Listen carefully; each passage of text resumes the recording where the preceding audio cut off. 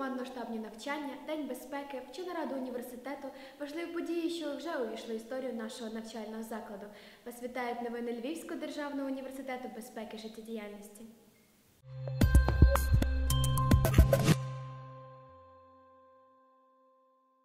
На базі нашого університету в рамках міжнародного проекту проходили командно-штабні навчання, які тривали два дні. У заході взяли участь представники оперативних служб та органів виконавчої влади Львівщини, делегати від Литви, Чехії, Польщі, Іспанії та Бельгії. Навчання проводить Міжнародний центр хімічного захисту та безпеки в місті Варшава за підтримки провідних експертів з кризового управління країн Європи. Головна мета командно-штабних навчань відпрацювання взаємодії оперативних служб та державних органів виконавчої влади в разі виникнення надзвичайних ситуацій державного рівня в прикордонних регіонах Львівської області.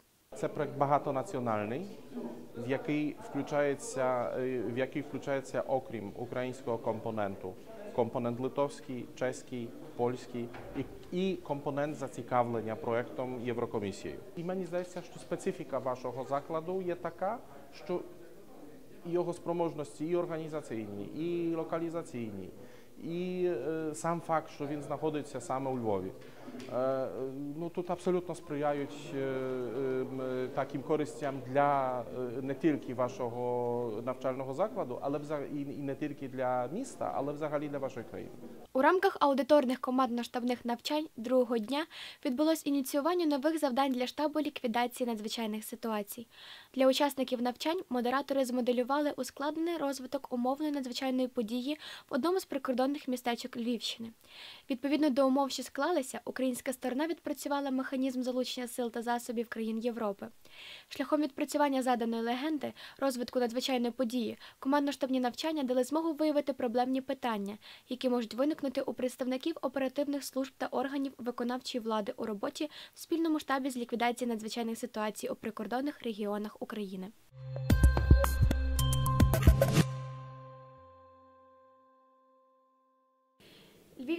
Державний університет безпеки життєдіяльності разом з арт-студією 6 лютого вперше подарували дітям мультиплікаційну абетку безпеки. Юні глядачі дізналися про основи пожежної безпеки, адже електрика, газ, звичайні сірники, запальнички у дитячих руках можуть перетворитися із добрих друзів, які допомагають нам щодня, на джерело лиха для всієї сім'ї. Після перегляду мультфільму понад 400 учнів шкіл Львова мали змогу ознайомитись з територією та історією навчального закладу і професією рятувальника загалом. У Львівському державному університеті безпеки життєдіяльності навчають не тільки ліквідовувати надзвичайні ситуації, а й проводити профілактичну роботу з громадянами, починаючи з найменшого віку, адже запобігти, врятувати, допомогти основне завдання кожного рятувальника.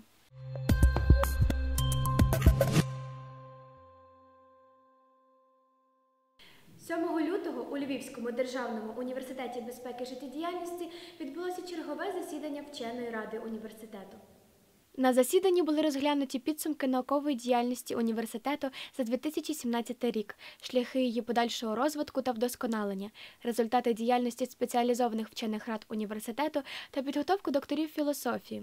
Були затверджені кандидатури курсантів, які отримали за результатами сесії відмінні та добрі оцінки для виплати підвищених посадових окладів. Також вчена рада рекомендувала до друку фаховий збірник наукових праць Пожежна безпека. Вчена рада одностайно проголосувала за надання кандидату філологічних наук Онищук Марії Іванівні вченого звання доцента кафедри технічного перекладу.